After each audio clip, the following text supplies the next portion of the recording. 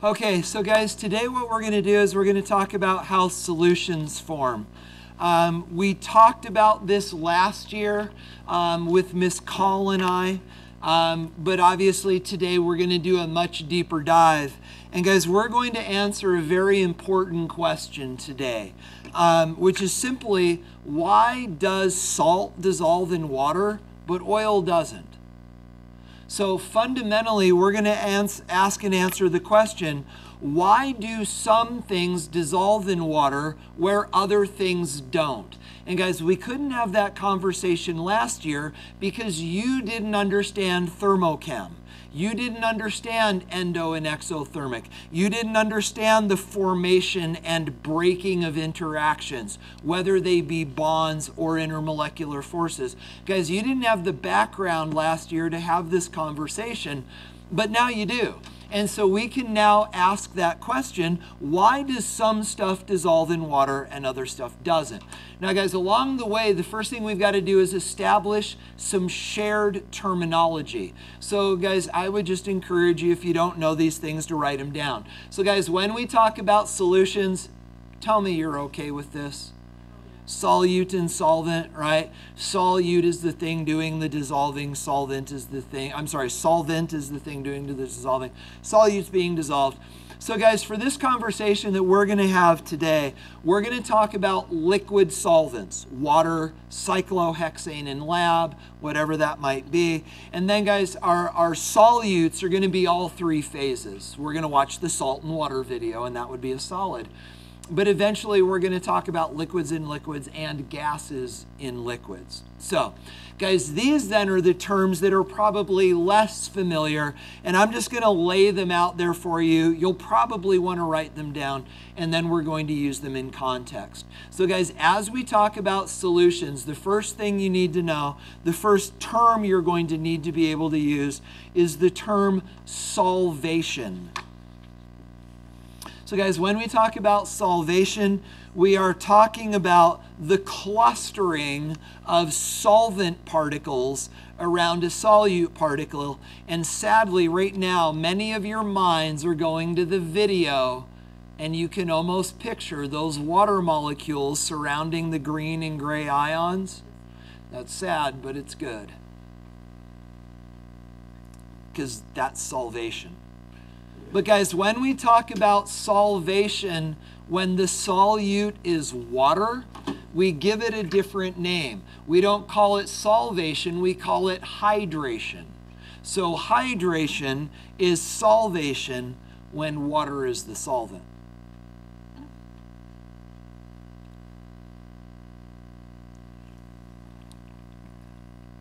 Oh my gosh.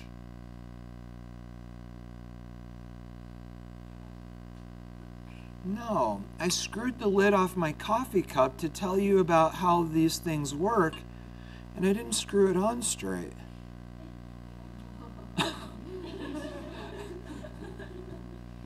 I'm like, wait, I'm drinking and I'm wet. and those usually don't go hand in hand. Man. Oh. Yeah, luckily these aren't going to help. Blindly, I reach for paper towels with very high hopes. And yeah, it's just pushing it around. But when you, here's chemistry, when you spread it out, increase surface area, and therefore, right, so it actually doesn't lap the stuff up, it just spreads it out, and then it evaporates more quickly. Okay, so guys, Third term you need to know saturated solutions. So let me look. I forget which definition I'm going to give you for this. Yeah. Um, let me give this to you. But there, there's an even better definition that, that I, I, I learned this from a, a colleague, and it's brilliant. So, guys, when you think of something that's saturated, can you kind of picture it just being all full up? So, guys, when we talk about a saturated solution, we're talking about a solution where you can't add any more solute. It's literally all full up. So when you create a saturated solution, you can keep adding solute, but no more of it will dissolve and it just remains as a solid. So functionally, it means you just can't get any more to dissolve. Hey, thank you. Does that, are you okay with that? So, guys, this is subtle, but check this out. The technical definition for a saturated solution, are you done writing so you can hear this? This is cool. I, I remember hearing this and going, that's neat. Okay, you ready? So, this is actually the technical definition of a saturated solution a solution in contact with its solute. Isn't that interesting? So if you and you, I mean write it down if you want, but that's but guys, that is the technical definition of a saturated solution. It's a solution in contact with its solute. Because if it was in contact with its solute and it wasn't saturated, what would happen? It would dissolve. So the fact that the solution is in contact with its solute means that no more can dissolve and therefore it's saturated. Huh? That's pretty good. I remember, I, I remember, it's just, it stuck with me. Okay, so then, guys, relative to this idea is the concept of solubility.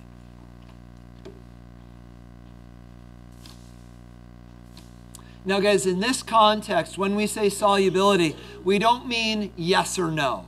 Will it dissolve? What we mean is how much. So, guys, solubility is the amount of solute needed to create a saturated solution at a given temperature. You're going to find out that it's temperature dependent.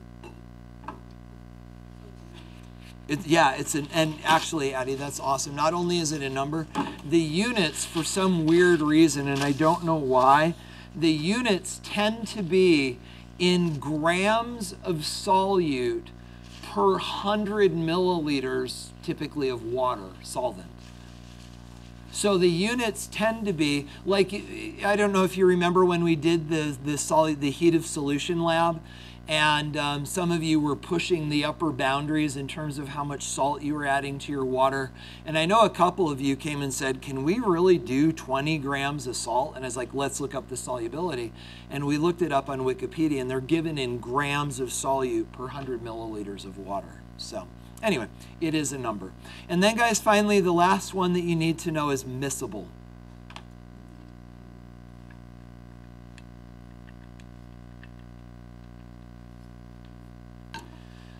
So, guys, let me put this in context for you. You understand that alcohol dissolves in water, right? If it didn't, there'd be no such thing as bartenders. So, guys, alcohol dissolves in water. So, imagine that you've got a cup of water and you start dumping alcohol into it. Can you dump enough alcohol into that glass that eventually no more will dissolve? And the answer is no. Um, the thought here is that when you have liquids dissolving into liquids, they will mix in all proportions. You can never saturate a liquid liquid solution um, because what ends up happening is once you've added more solute than solvent, they just switch roles and keep going. Okay, that's what miscible means. Guys, miscible refer, uh, refers to liquids that forms solutions in all proportions. So, guys, we actually technically, it's technically wrong to say that alcohol is soluble in water. We should actually say alcohol is miscible in water um, which just means that it does dissolve. The difference is that you can't saturate liquid-liquid solutions. So technically, and I think, just a second, I think it's here. Let me finish this up. Um, yeah, so alcohol and water. But then, guys, technically, instead of saying that oil does not dissolve in water, we should say that water, oil is immiscible in water because, again, it's a liquid that doesn't dissolve in water. So um, again, it just means that it doesn't dissolve. And an example of that is oil or gasoline and things like that. So guys, these are all the terms. Let I want everybody, I know Leah, you have a question as well. Let's let everybody get done mindlessly writing this down, and then we'll do questions, and then we'll start to fiddle with these ideas in more meaningful ways.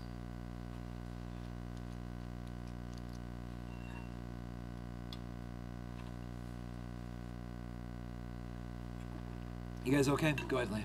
So, would it be wrong to say that water dissolves in alcohol? So it's not. Yeah, I mean technically yes. Um, so if you if you had a big jug of alcohol and you dumped water in, it dissolves. Um, so when we talk about water-water solutions, if or I'm sorry, liquid-liquid solutions, if we're trying to identify solute and solvent, we typically consider the one that is there in abundance to be the solvent. Um, but technically, there isn't a solute and a solvent. They actually dissolve into each other. Um, and so consequently, it is technically wrong. Not that they would ever mark, I would never mark it wrong to say alcohol dissolves in water, but technically we should say it's miscible in water. So go ahead. I was just wondering about like the saturation idea. Just are there liquid liquid applications that can be saturated? My knee jerk is no. Um, yeah, but there's always an exception, right? So if you didn't hear Talmadge's question is, is there an example of a place you could saturate a liquid-liquid solution? And I'd have to believe the answer is yes, just because the answer always, not, oh no, not, not that I can think of. So, all right, you guys all good on this stuff? So let's do, here we go. You ready? It's time for the video. When an ionic substance such as sodium chloride is placed in I know, you need more Karen. It's like more cowbell. Here we go. More Karen.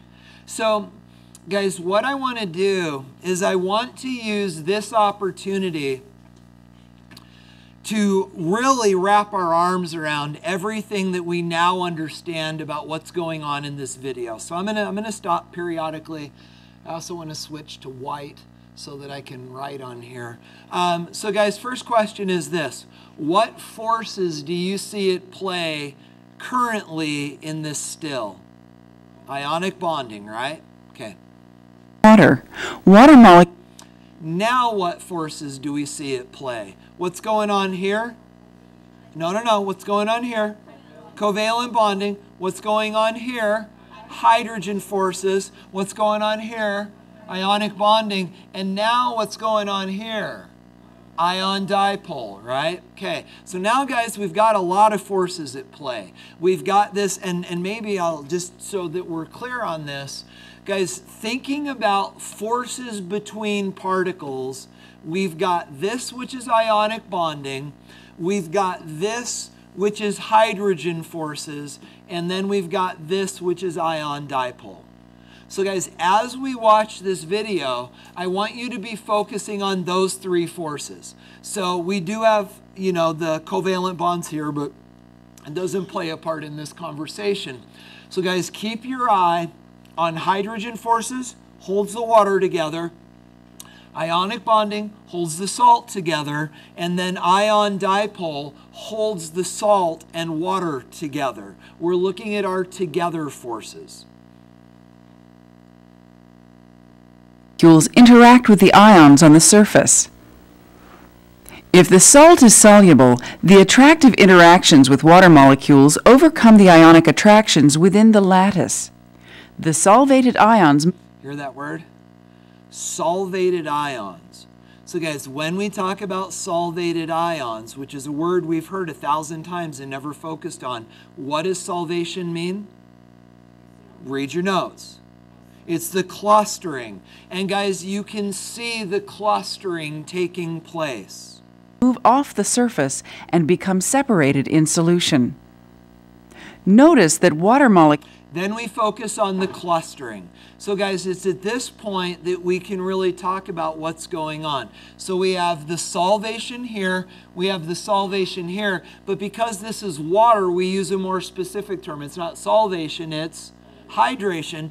And we see what we would call these hydrated ions surrounded by these water molecules. And again, what are the forces that hold them together? ion dipole forces. Are you guys comfortable with all those ideas? Okay, so we can let this molecules play cluster through. about the anions with the hydrogens directed toward the negatively charged ion. On the other hand, water molecules interact with the positively charged cations through the lone pairs of electrons on the oxygens. You good? Okay, so guys, now that we've taken these terms and we've brought them to bear on this process, what I'd like to do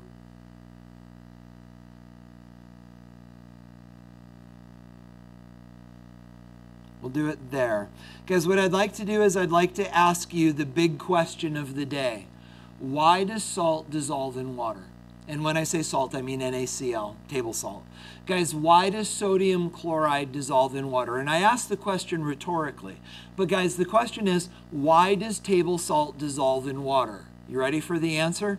Guys, the reason that table salt dissolves in water is because those forces are stronger than these forces and these forces added together. That's it. That's why salt dissolves in water. Because the force of attraction, what kind of force is that? Ion dipole. The force of attraction between the, the dipoles in the water and the ions of the salt this force of attraction is greater than the sum of the forces, the hydrogen forces, and the forces in that ionic lattice. And guys, if you're thinking about what we're thinking about, you should look at this and go, you got to be kidding me. Because, guys, what do you know about hydrogen forces? Strongest intermolecular force in the neighborhood, other than ion dipole. We'll talk in a minute. Guys, what do you know about not just the ionic bonds, but the structure of that lattice? Remember when we talked about lattice energy? Crazy strong. So, guys, we've got crazy strong and we've got pretty stinking strong. So, what do we now know about this? It's crazy stinking strong. And guys, the reason that that is the case is actually because of this multiplying, this clustering of these water molecules around the solute. This clustering process creates such a strong intermolecular force, in this case, ion dipole, that these forces of attraction are greater than the sum of these forces, and that's why it dissolves. So now just let's ask the follow-up question. Why do some salts not dissolve in water? Because this isn't true. But guys, understand that this could this could break apart. Sorry for the pun. This could fall apart in a lot of different places. So think about it this way. Imagine that we keep the water, but we replace it with a salt, like for example, silver chloride. Let's replace this with silver chloride so the grays are now silver. Does silver chloride dissolve in water? It does not. Why not? What do you think changes that keeps the silver chloride from dissolving in water? Okay, so it, it's partially this. The silver chloride is a stronger lattice, but that's only part of the answer. What else changes?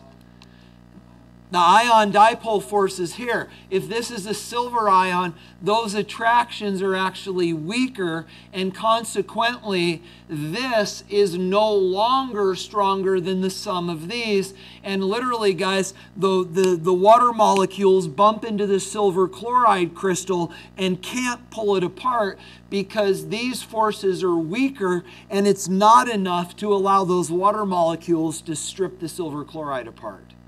Do you get the idea? So that's the interplay that we're talking about. So, guys, we're going to spend a few minutes and dig more deeply into this. Go ahead, Tucker. So wait, I'm, I'm a bit confused. Why is it that the um, ion dipole um, forces, if this was silver chloride, Mhm. why is it that the ion dipole forces are weaker than if it was? Be- because silver is bigger.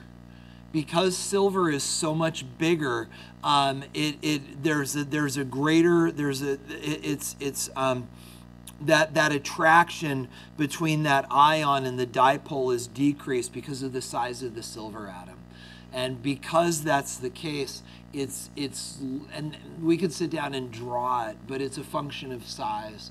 Um, understand they would never ask you to explain that What they would do is they would ask you, why does silver chloride not dissolve in water? And we're going to talk in a minute about how to describe that, but understand fundamentally it is a function of that attraction. Go ahead.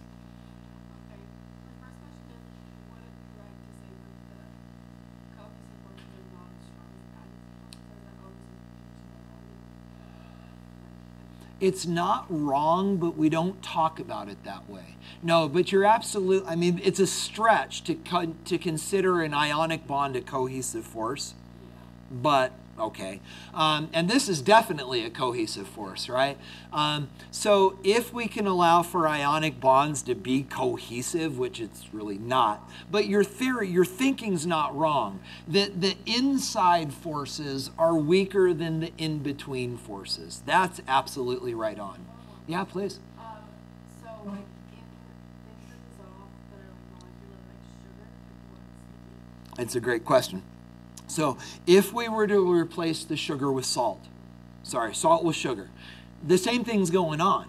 The only difference is, is if this, it, let me clean up my mess. The only difference is, is if this was sugar, then these forces that we're overcoming would also be hydrogen forces, right? Because sugar is a carbohydrate. Carbohydrate has that oxygen hydrogen group that's bent, naked protons. So sugar crystals are held together with hydrogen forces. So you'd have hydrogen forces here, you'd have hydrogen forces here, and then you would also have hydrogen forces here.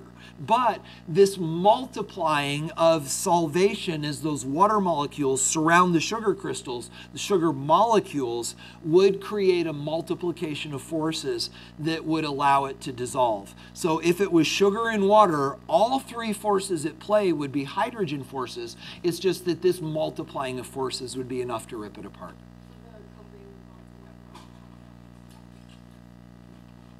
I'm scared of never, but no. Yeah, yeah, you can go with never. You guys okay with this idea? Go ahead, Caleb.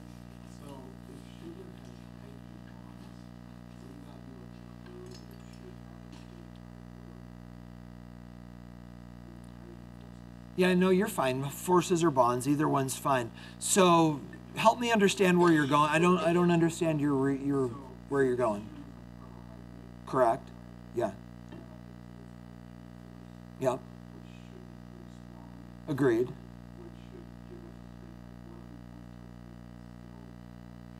So be careful with boiling point and melting. So high melting point, or are we talking melting point?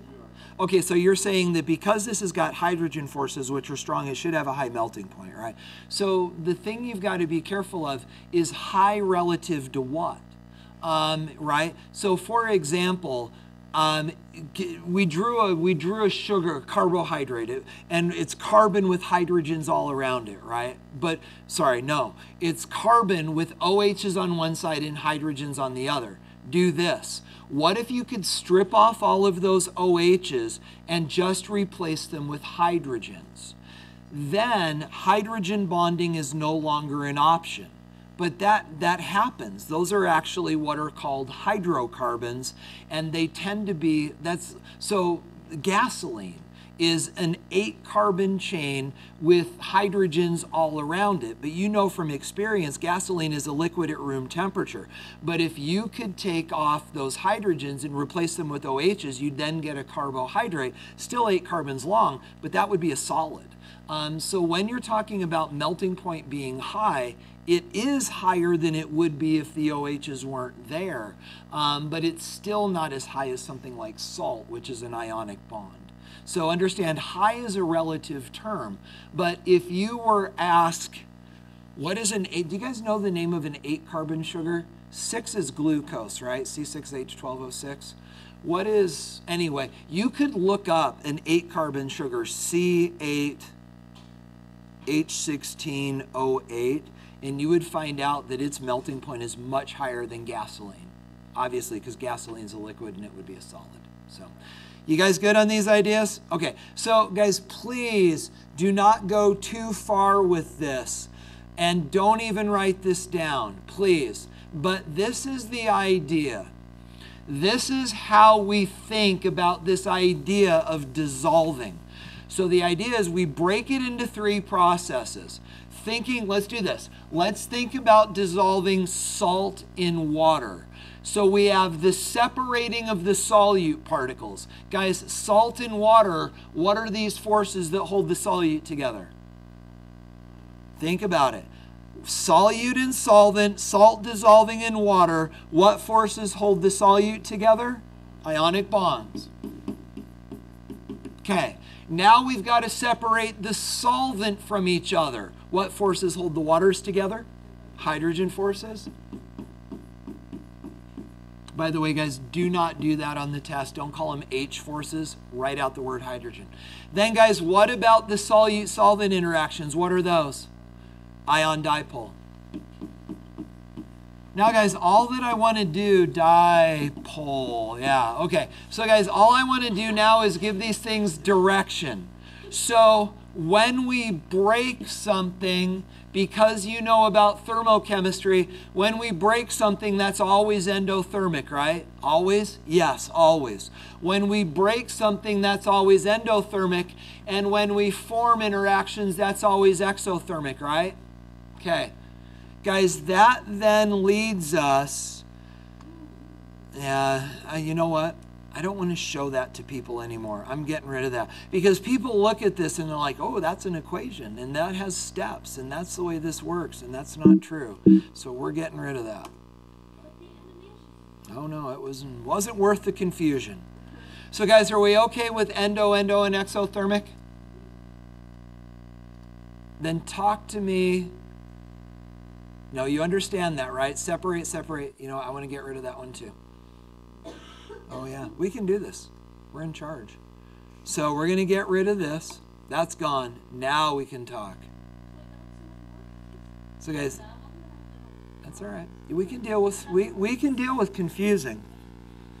Guys, this is the idea. So on the left and on the right, we have the solution processes for two different salts.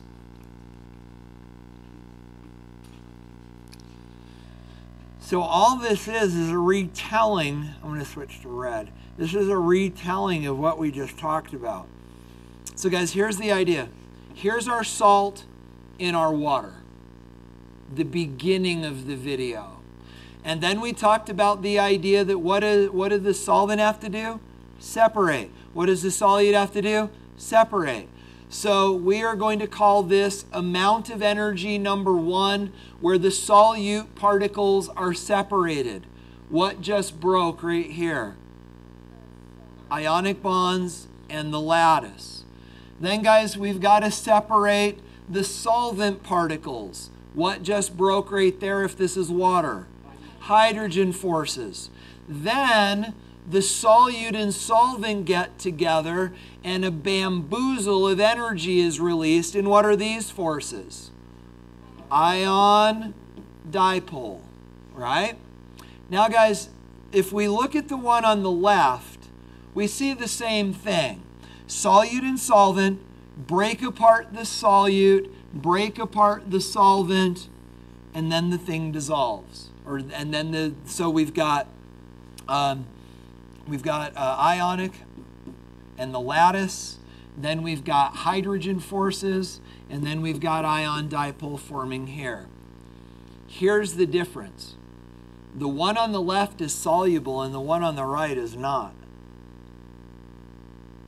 Do you see why? Because this is the big idea. In order for a salt to dissolve in water, the solution that is formed will have less energy than the solute and solvent had alone. That's the idea that this has got to be bigger than the sum of these. Remember when we drew that into the video? That's the idea. That the force of association has got to be greater than the sum of the forces of dissociation. Here you'll notice that's not the case. The solution has more energy than the pieces did on their own, and this will not dissolve because the attraction is not great enough to overcome the attractions within the solute and the solvent themselves. Do you get the idea? Go ahead. Correct. Right, right, right. Good. Yeah. And that's where I wanted to go with this. Because, guys, when we talk about this idea, understand that there are subtle differences, right? And one of those, I'm glad you thought of that, is our quick cold pack. Because remember when I introduced you to that quick cold pack, we said, wait a minute, this is cold. This thing is net endothermic and yet it still dissolves. So understand that in this region, there's a little bit of a gray area, but what explained that gray area where these salts could dissolve? An increase in entropy. Exactly. So there is a gray area right here, but realize that these this wouldn't happen. If our if our solution was way up here and there was a huge difference in energy, that would not dissolve. So if they're close, entropy can break the tie, but if they're hugely different, it will not happen at all. Okay. And we can describe that because we can talk Gibbs free energy, right? And then we're talking spontaneity that includes entropy, but I've never seen them bring that into this conversation. You guys good on all of this? Okay, so guys, what we're going to do then is we are now going to sort of talk about how these ideas all come together. So this is where you need your attention, and then grab that sheet of paper that I gave you or throw it on the floor. Either one's fine. You guys all, did I, Josh, did I get you one? Okay, so guys, this is the idea. When we understand dissolving, it is the interplay of, is this too abstract to do it this way? It's the interplay of break down the solute, break down the solvent, and then what the solute and solvent do to each other. Do you get the idea? Is that okay? Okay. Because, guys, we ask, and, and we can answer from this why do some salts dissolve in water where others don't, right? So, why does NaCl dissolve in water where AgCl doesn't? But, guys, we can expand this conversation into so much more than that. And when we do, we get to have some, some really interesting conversations. And guys, it's all based on this. You'll notice that I've given you most of the information, but there is stuff I'm going to ask you to fill in.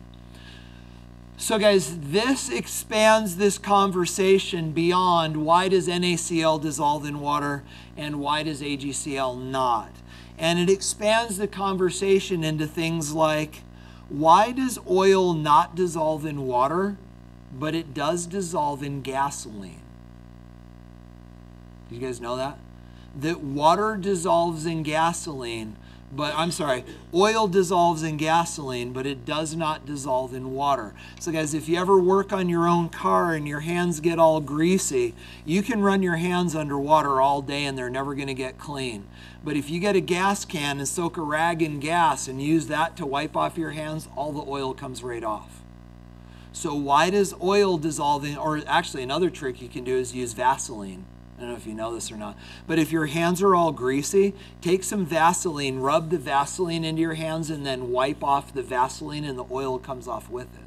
So, why does oil dissolve in gasoline and dissolve in Vaseline? You guys know Vaseline and gasoline come from the same place. Yeah, crude oil. Um, Vaseline is actually the very heaviest fractions of crude oil. Anyway, that's why it's called petroleum jelly. You're learning so much. But, okay, so guys, why does this work? And the answer is the interplay between polar solutes and polar solvents. So guys, if you can picture, let's let's let's pick our players. So guys, for our polar solute, we're going to say that that's salt, table salt. Is that okay? It's so polar it's ionic. For our nonpolar solvent, we're going to go or I'm sorry, for our nonpolar solute, we're going to go with oil. Then, guys, for our polar solvent, we're going to go with water. And for our nonpolar solvent, we're going to go with gasoline. So, guys, let's talk ahead of time. Does salt dissolve in water? Yes. Does oil dissolve in water? No. This one's interesting. Does salt dissolve in gasoline? It doesn't. Does oil dissolve in gasoline? It does. Now we're going to talk about why. So, guys, let's start in the upper left hand quadrant and let's do this. So, guys, thinking about our solute, thinking about the salt, what holds salt together? Ionic bonds. And those are really strong, right? So, guys, our solute solute interactions are really strong. Now, what about our solvent solvent interactions? What are the forces that hold water together? Hydrogen forces. Those are also really strong. But guys, when when ions get together with these very polar water molecules, we end up with ion dipole forces, and those things are really strong, and there's a lot of them. And because these forces are really, really strong, this thing is soluble.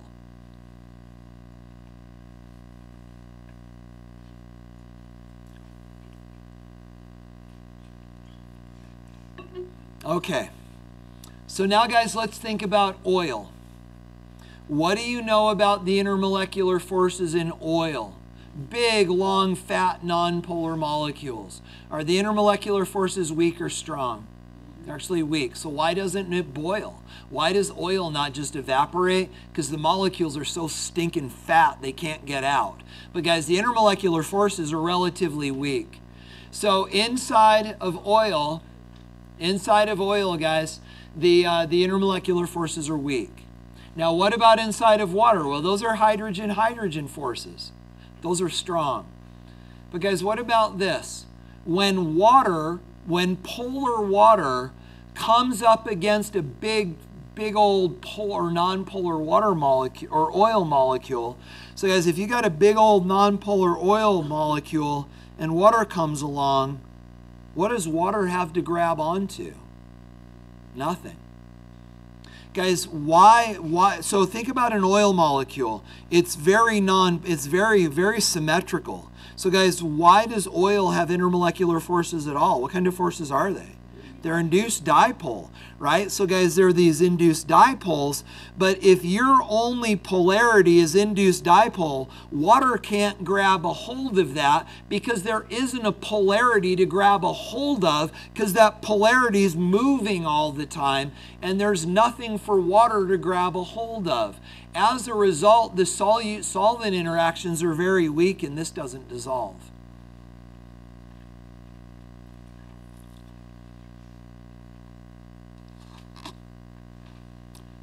Yeah. I guess this is an open question as for is the saturation point just really, really, really low, or is it just about this? Some of them do dissolve a little, but we, we call it not appreciable. Yeah. Um, then, guys, down with uh, nonpolar. So, guys, now we've got salt in gasoline. So, guys, gasoline is also a very uh, symmetrical molecule. Um, the only intermolecular forces in gasoline um, are weak uh, induced dipoles. But again, guys, in the solute, we've got ionic bonds. So we've got really strong ionic bonds in the solute, and then we've got these weak induced dipoles in the gasoline. So, why does salt not dissolve in gasoline? Well, guys, now imagine this. You've got this salt crystal in the bottom of a tank of gas, and these salt molecules are just sloshing back and forth, and they've got a little bit of polarity. But that doesn't do any good to try to rip salt apart, right? Because this polarity is always shifting, and because the polarity in the gas molecule is always shifting, it never has a chance to form a strong attraction with these ions, and it can't pull it apart. So, the solute solvent interactions are very weak and therefore it doesn't dissolve.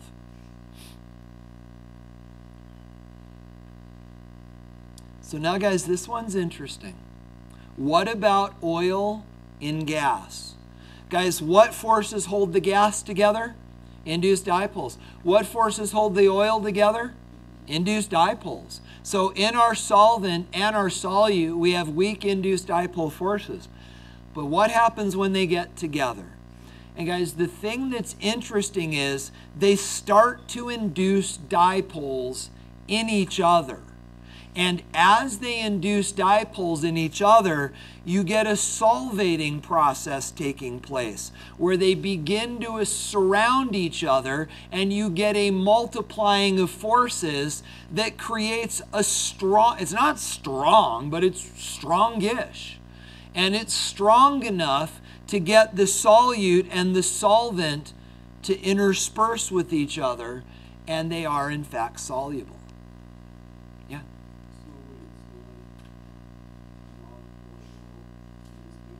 Mhm. that. Yeah, it's a, it's a really good question, and um, so it could.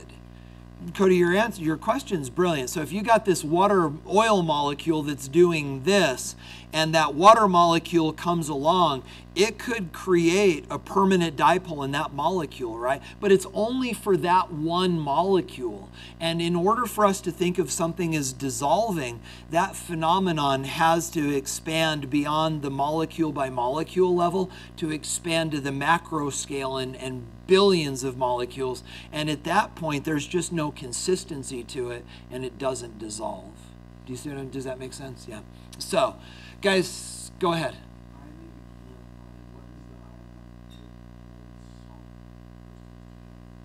Ionic bonds. There is no IMF. It's ionic bonds, and the and the crystal lattice. Yeah, yeah.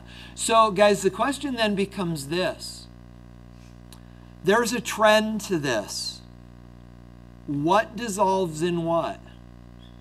Polar solvents dissolve polar solutes, and nonpolar solvents dissolve nonpolar solutes. Guys, in the world of chemistry, we break that down into a very succinct summary like dissolves like. It's worth writing down. Guys, we summarize that with the idea that like dissolves like. Now, guys, here's the deal use that as a predictor. Do not use it as an explanation. You're going to see a question on the test, probably, that says, Why does sugar dissolve in water? If you write down like dissolves like, that's really easy to grade because I just have to write a zero. So, guys, why does sugar dissolve in water?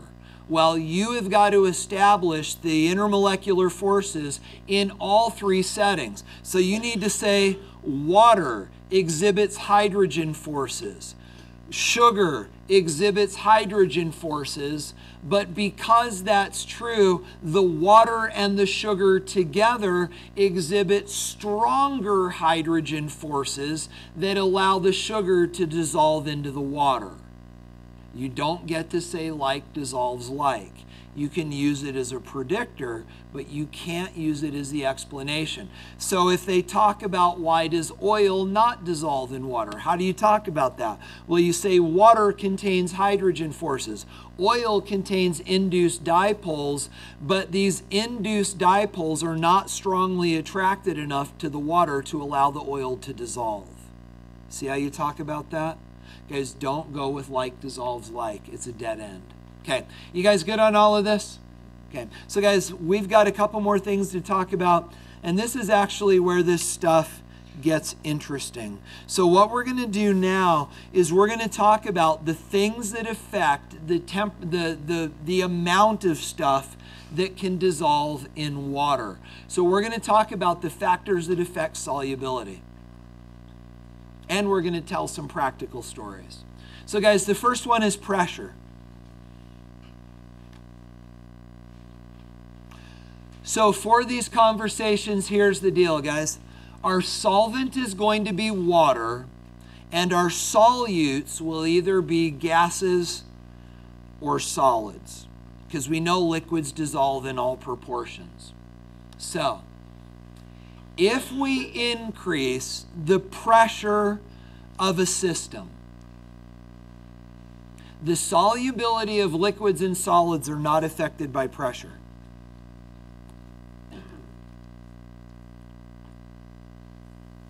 but gases are. The solubility of a gas is increased as we increase the pressure.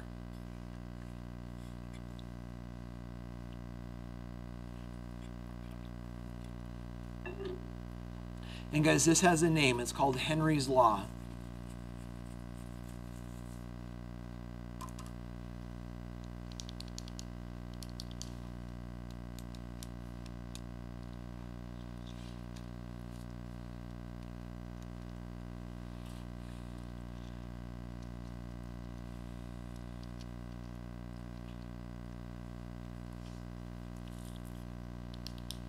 You guys okay? Let me explain to you what this means. So, guys, you got a beaker full of water and you dump salt in it, and we say we make this a saturated solution. Think about this beaker of water, dump in salt. How do we know that we've created a saturated solution? There's crystals on the bottom. If you then stick a plunger inside that beaker and push down, no more salt dissolves. So the solubility of a solid inside of a gas or inside of a liquid is not pressure dependent. Neither is a liquid. But guys, gases are. So, um, well, rather than give you that example, um, let's do this. So the idea is the higher the pressure, the more gas will dissolve in a, in a liquid. So, for example, this. Imagine if you've got a beaker full of water, and then imagine, ah, let's do a plunger. So, guys, let's say that we've got some oxygen dissolved in the water. And, guys, you understand that this is the oxygen that fish breathe, right? That if you're a fish swimming through the ocean, you are not breathing the oxygen in H2O. There's always oxygen dissolved in our water, and that's the oxygen the fish breathe. Yeah? Okay. So, guys, there's also oxygen up here above the water. But imagine that you shove a plunger in this and you squish this system. What happens to some of that oxygen? It gets driven into solution. Literally what happens is is the pressure here goes up. And as the pressure goes up, it drives the oxygen into solution and it's harder for the oxygen to come back out of solution and it drives more oxygen into the water so more oxygen can dissolve in the water at higher pressure. You get the idea? But guys, if that's the case, the opposite is true as well. Um, do any of you have a can of Coke? Or any? No. Okay, so you can imagine. Imagine you have not a bottle of water, but imagine you have a bottle of soda and you screw the lid off. What happens? Bubbles come out, right? Why? Because of this.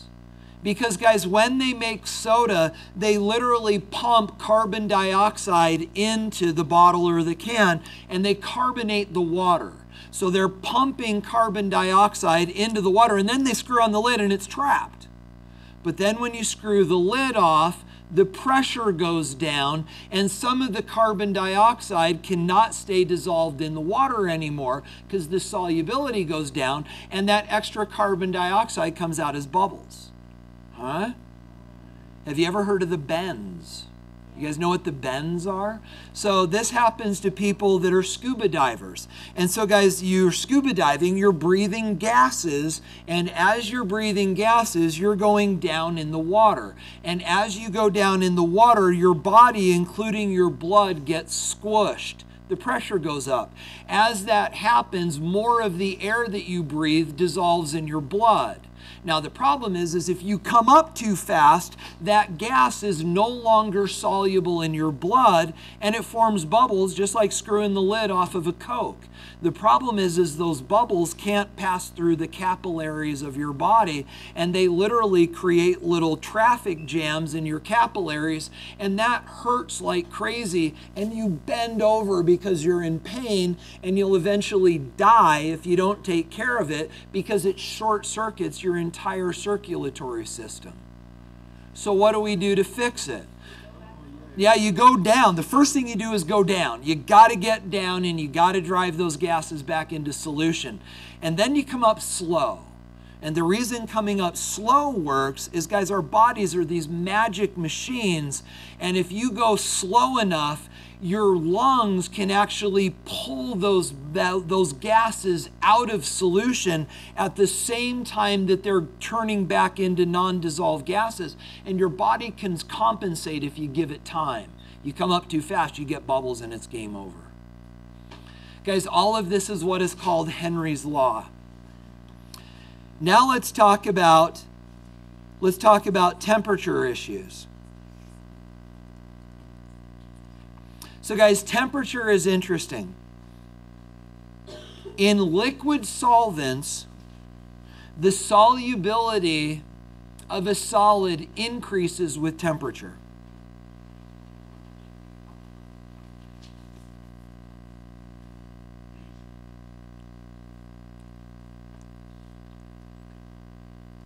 And the solubility of gases actually decreases with temperature. This is where we're done today.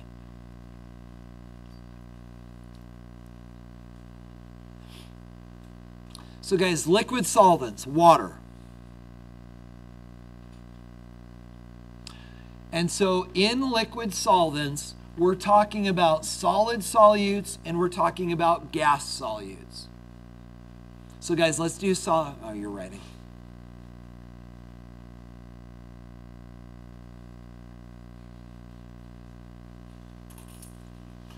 So guys, let's do gas. Let's do let's do solid solutes first. So fundamentally, what does this mean? Well, what it means is if you have a, a, a, a cup of water and if you heat up the water, more salt will dissolve in it. Right? But have any of you ever made rock candy? Have you ever I used to do this as a kid as a if you've never done this, the way that you do it is you dissolve sugar in water. And sugar dissolves in water at room temperature, but if you heat up the water, more sugar can dissolve in the water. So you heat the water to boiling, and then you can dump an amazing amount of sugar in there, and it all dissolves. Then, guys, what you do is you turn off the heat and you dangle a string into the pot of sugar water. And as it cools, that sugar can no longer stay dissolved in the water and it clumps onto the string and it makes really cool looking crystals that are just pure sugar. And we just eat it as candy and rot our teeth out of our heads. Um, but it's, it's that idea that then as that water cools, the sugar comes out. So we're not going to do this. Okay, then, guys, what about gases? Well, guys, interestingly, as you increase the temperature of a liquid, less gas can dissolve in the liquid. Think about it. If we've got water and if we've got oxygen up here, we've already said that if we increase the pressure, it makes the oxygen go into solution, right? But, guys, what if instead of increasing pressure, what if we increase the temperature? What if we shove that on a Bunsen burner? So, as the temperature goes up, what happens to these water molecules? They move faster. But what also happens to the oxygen molecules that are dissolved in the water? They also move faster and they go away as well, and less can stay dissolved in the water. You get the idea? Go ahead, Caleb. Then understand what would happen is you would you would well you couldn't be. If for this to happen you would see an increase in pressure up here or else that that has to happen. If you increase this temperature you have to increase pressure. Although if you took the lid off then it all just goes away um, what you're going to find out, guys, is in lab, um, when we start doing acid and base chemistry, we are going to boil all of our water before we use it to make acid base solutions because in water, oh gosh, in water, there's actually carbon dioxide dissolved. And that carbon dioxide actually messes around with the pH of the water. So when we make our acid and base solutions, we'll actually boil the water first. That drives all the carbon dioxide out. And then we'll use that to make our solutions because it get rid of the CO2. Get the idea? One more interesting application to this. Do any of you fish? Why do you not fish in the middle of a hot, sunny summer day? Guys, the reason is because the fish are suffocating. Seriously. Guys, the fish are suffocating because in the middle of the day, the sun and the water and the surface of the water is hot. And when water molecules bounce into the surface of the water, they don't stick and dissolve, they actually bounce. And the, the amount of oxygen in the water in the middle of the day actually decreases. And the fish can't feed because they can't be active because they don't have enough air to breathe. And then at night, guys, the water reabsorbs a bunch of this air because it's cooling off, and these molecules are more likely to dissolve into the water. And so, in the cool of the morning and the cool of the evening, there's more oxygen for the fish to breathe, and they can go find stuff to eat. Huh? Oh, yeah. Oh, yeah. So much to think about. I know. See, hey, so guys, one more thing there is one thing in the notes that we are not going to get to today, but what we will do is we will pick up next time with it, and it is not in the homework anyway. And this is your homework, and we will go when the bell rings.